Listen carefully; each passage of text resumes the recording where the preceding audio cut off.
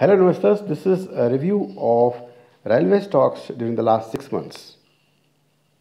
As you can see from this picture, Railway Vikas Nigam has gone up by 131%, giving a spectacular returns to the investors. Ircon International Limited has gone up by 42% and closed at 55 rupees. Indian Railway Finance Corporation has gone up by 40% and closed at 30 rupees.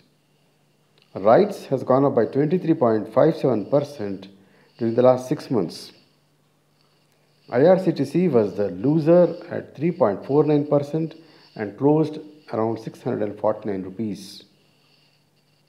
All the railway stocks are looking bullish technically and can be bought on declines. Thank you for watching this video and have a nice time.